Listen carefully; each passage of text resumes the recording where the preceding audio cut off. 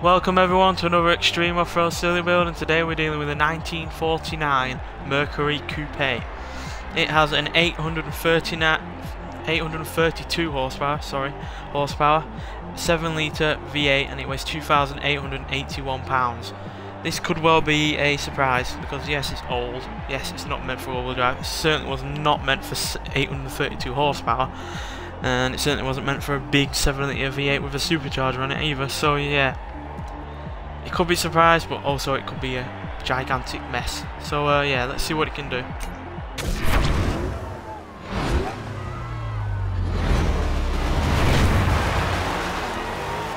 I'm not having any uh, expectations at all in terms of handling. Could go anywhere. The awful could be good.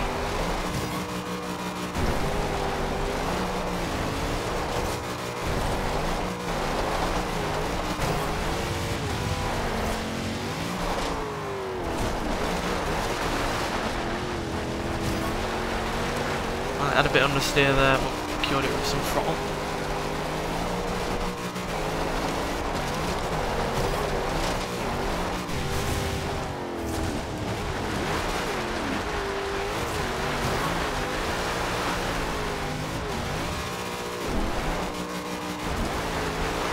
to say I think the soft old suspension is helping in terms of the bumps. As you can see once it hits it doesn't bounce back up again at all.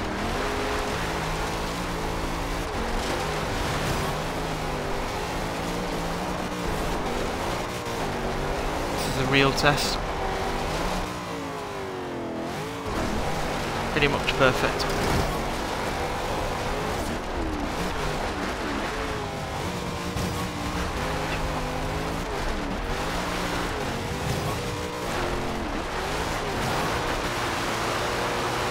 Ooh, this likes to drift when you uh, get it into a right corner, right?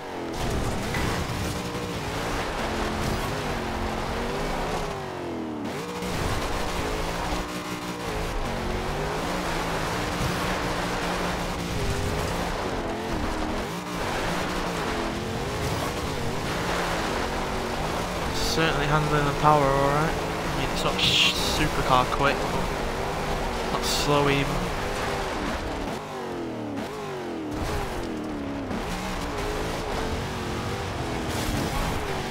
This is handling jumps far better than cars that are even made for doing this kind of course.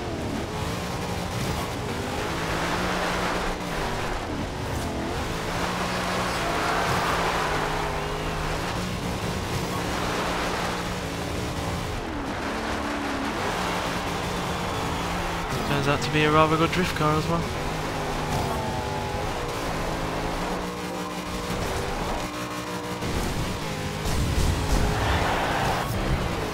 Well, it's not the quickest time we've had by any means, but then again, it's a car that's like 60 years old or so, so yeah. It's rather good, really. It's much better than I was expecting, because of the age and the fact that it was never meant to do this kind of thing, let alone have all the uh, upgrades that has been given. So yeah, rather good. It's beating cars that are either way faster than it or are built for actually going off-road. So yeah, uh, yeah, big surprise. Not the quickest, like I said, but still a surprise nonetheless.